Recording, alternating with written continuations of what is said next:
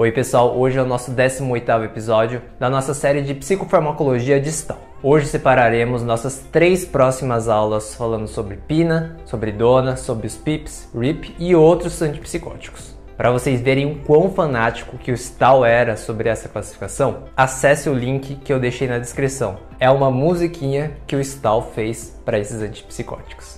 Mas hoje começaremos com os pinas, a classe de antipsicótico ativo que mais se conecta aos receptores, os quais eu chamei bastante de antipsicóticos sujos. Peço humildemente que você se inscreva no canal, dê um like nesse vídeo para nos ajudar a divulgar, acessar mais pessoas ainda.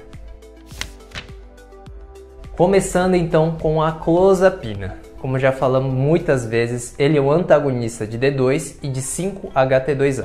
E ele é um dos protótipos do antipsicóticos atípicos. Ele foi o primeiro a ser considerado um.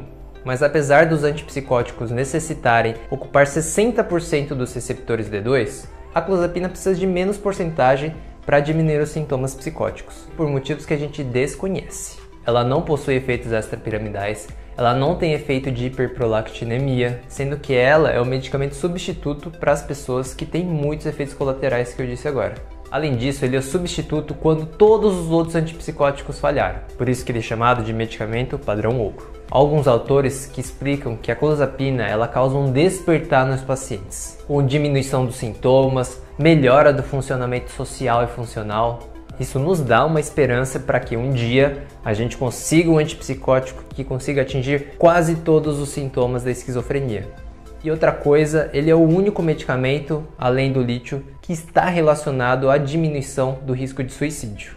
Daí surge a dúvida, por que, que essa medicação é tão boa? Será que é uma combinação dos receptores que a gente já conhece ou será que é um mecanismo que a gente não sabe ainda? Na minha humilde opinião, é a segunda opção. A gente ainda tem muito para cavar sobre esse transtorno mental. Mas vendo tanto o lado positivo, por que, que a gente não vê essa medicação para tudo quanto é lado? E é principalmente devido a um efeito colateral super grave chamado agranulocitose. Ele consiste em uma diminuição abrupta de células brancas polimorfonucleares, chegando a ficar no nível de concentração de 500 células. Ele ocorre em mais ou menos meio a 2% dos pacientes e quando acontece tem uma alteração intestinal, de mucosa, de pele e pode levar à morte. Por isso que quando a gente começa a clozapina, a gente começa super devagar, a gente vai aumentando 25mg a cada dois dias e tem que fazer hemograma semanalmente, principalmente nas 16 semanas, depois vira quinzenal e para sempre vai ser mensal. Também causa cialorreia, né, que é a produção de saliva, constipação, principalmente dos receptores muscarínicos. Ele causa sedação por receptor histamínico, muscarínico e alfa-1 causa aumento de peso, síndrome metabólica, a gente até falou na aula passada né, do receptor X, e também convulsão e miocardite por causas desconhecidas. Por isso, ela não é primeira linha, ela só é utilizada quando todos os outros acabam falhando. E nessa imagem a gente pode ver todos os receptores ligados à clozapina, principalmente D2 lá em vermelho, lá embaixo, 5-HT2A ali em roxo em cima, e os dois ao lado a gente pode ver o agonismo de 5-HT1A, né, que é o tracejadinho, e o receptor X que a gente desconhece. E na barra de baixo, que a gente pode ver os que têm maior afinidade à esquerda, o primeiro deles quem que é? Estamina e alfa-1, mostrando aí o ganho de peso e a sedação como grandes sintomas colaterais. Nosso segundo antipsicótico é o lanzapina. Também tem um antagonismo D2, 5-HT2A, só que ele é mais potente ainda. Também não causa sintomas extrapiramidais ou de hiperprolactinemia, mesmo em doses altas. Mas por outro lado, ele mantém uma sedação e muito ganho de peso. Tem aí descrito na literatura uns ganhos assim de 30 quilos e por isso tem um grande risco de síndrome metabólica. Na bula a gente vê que é um medicamento que vai de 5 a 20 miligramas, mas na média a gente vê acima de 15 miligramas em pacientes internados ou institucionalizados, a gente vê uma dose de 20 até 40 miligramas. Além da esquizofrenia, ela também é utilizada para transtorno bipolar, sendo que a associação com a fluoxetina é uma das primeiras linhas para depressão bipolar, principalmente devido ao antagonismo de 5-HT2C e 7. Obviamente, a gente não recomenda esse medicamento para um paciente que tem risco cardiovascular. E mesmo para paciente saudável que a gente coloca essa medicação, tem que fazer uma avaliação semanal, mensal, ver exames laboratoriais com frequência para que não haja descontrole na parte cardiovascular. Nessa imagem de novo, a gente vê D2 embaixo, 5HT2A, o receptor X que eu falei agora, e lá embaixo a gente vê o receptor H1 em primeiro lugar de afinidade. Terceiro antipsicótico, a quetiapina. Também antagonista D2, 5-HT2A. Vou sempre repetir para vocês decorarem, mas ela tem umas características muito interessantes. Muitas das ações dela vêm do metabólito ativo chamado norquetiapina que além da quetiapina fazendo aqueles efeitos que eu acabei de falar, a norquetiapina ela também é um antagonista 5-HT2C, 7, 1B e D, alfa-2 e agonismo parcial de 5-HT1A, que a gente já falou umas duas aulas atrás. É um medicamento que, dependendo da dose e da formulação, tem uma ação diferente. Na quetiapina de liberação imediata, né, que faz efeito na hora, e em baixa dosagem, em torno de 25 a 50 miligramas, ela faz um pico de ação no nosso organismo e causa alguns sintomas, principalmente de sonolência. Então, se utilizado à noite, ela vira um hipnótico ideal para o nosso organismo. Já de liberação prolongada, que faz pico muito depois, não é utilizado nessa ocasião.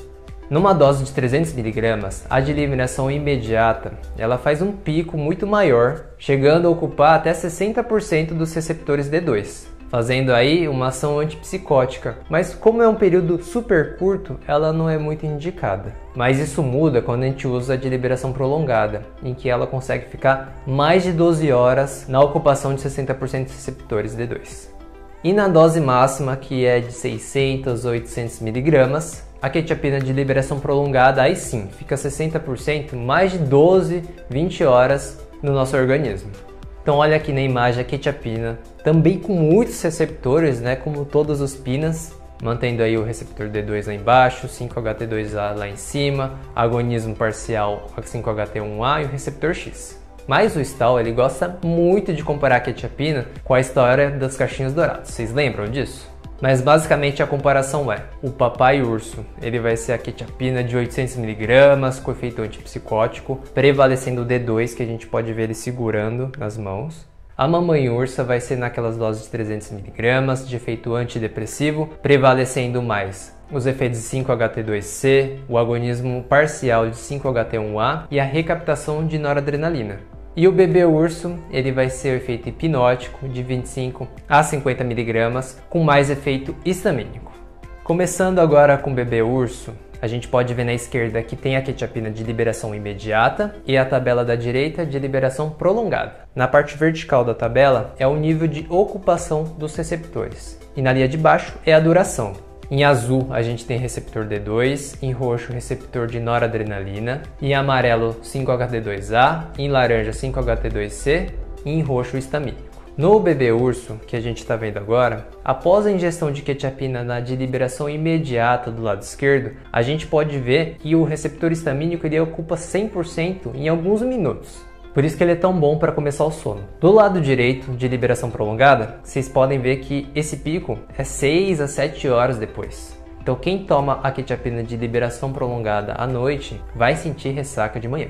De qualquer forma, os dois não são primeira linha para insônia, tá bom, gente? Tem outras opções, até porque a quetiapina tem ganho de peso e outros sintomas colaterais ruins. Também a gente pode ver que ele não tem ação antidepressiva, né? Nesse gráfico aqui, ali em roxo da noradrenalina ou de 5-HT2C, aqui desenhado em laranja, tá tudo lá embaixo, né? Sem ocupar quase nada dos receptores. Já a Mamãe Urso foi a mudança de paradigma dessa medicação. Ver que o antipsicótico também tinha uma ação antidepressiva fez a quetiapina virar um tratamento adjuvante na depressão unipolar, a única medicação de primeira linha no transtorno bipolar do tipo 2, Vendo o gráfico, a gente pode ver que o distamina em roxo está lá em cima, como sempre, e agora quase perto do teto. Mas a diferença é que o roxo mais claro de noradrenalina e o laranja que é de 5-HT2C, eles aumentaram de 20 a 40%, um nível bem mais acima e já começa a fazer efeito. E a gente pode ver também que as linhas da de liberação prolongada, ele é mais estável, sendo uma melhor opção nesse caso. É só a gente lembrar, se faz pico, tem efeito colateral. E no papai urso, a gente pode ver que o de estamina e o de 5-HT2A tá lá no teto, tá no máximo. E o D2 que está em azul, ele já está em nível de 60%, principalmente o de liberação prolongada, que ele está mais estável. Aqui o papai urso ele também faz um efeito antidepressivo, mas como uma dose de 300 também faz o mesmo efeito, ficou para a função da mamãe urso. Nessa dosagem, obviamente, já tem um maior ganho de peso, alteração de triglicérides, dislipidemia, resistência insulínica.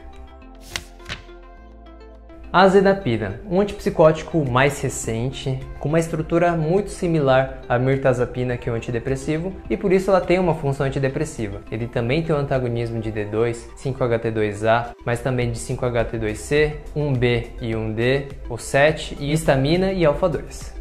Ele é bem diferente dos demais porque ele tem que ser administrado por via sublingual, devido à passagem hepática fazia muita alteração da farmacocinética dessa medicação. Via sublingual, ele tem um pico super rápido, com meia-vida até que longa, por isso que ele pode ser uma opção aos intramusculares numa emergência que a gente deseja um efeito super rápido.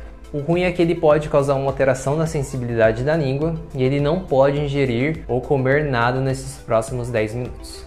Fora isso, ele não tem sedação, ele não tem efeitos extrapiramidais e nem de hiperprolactinemia. Há uma teoria do efeito antidepressivo ligado ao receptor 5-HT2C. Vamos olhar as imagens? Nessa parte de cima a gente pode ver o córtex pré-frontal e aqui a parte de baixo o tronco encefálico. No tronco encefálico tem diversos neurônios serotoninérgicos e o 5-HT2C ele está localizado nos interneurônios GABAérgicos, aqui demonstrado em roxo. Essa atuação dos interneurônios gabárgicos faz com que as conexões serotoninérgicas e dopaminérgicas fiquem inibidas e controle o aumento de produção lá no córtex pré-frontal. Mas se a gente colocar um antagonista 5-HT2C, como é o caso na zenapina, a gente vai bloquear essa conexão de neurônios serotoninérgicos e o interneurônio GABAérgico e vai aumentar a atividade desses dois neurônios conectores que a gente pode ver aqui num tracejado vermelho mais forte. Isso lá no córtex pré-frontal vai aumentar a produção de serotonina e dopamina. E o nosso último antipsicótico é a azotepina. Ela é muito utilizada na Europa e no Japão, mas não tanto nos Estados Unidos nem no Brasil. Ela basicamente pega o antipsicótico clozapina, que é muito similar à estrutura, e piora ela. Ela tem o ganho de peso, ela tem a sedação que tem na clozapina, além da convulsão e o risco de miocardite. Só que ela também causa efeito extrapiramidal e de hiperprolactinemia. Então acaba não sendo muito utilizado na nossa prática clínica. E é isso, pessoal. Espero que tenham gostado da aula. A próxima vai ser sobre os donas, também muito importante na nossa prática. Quem tiver dúvida, pergunta nos comentários. Segue a página no Instagram e no YouTube que é psique.aula e bons estudos.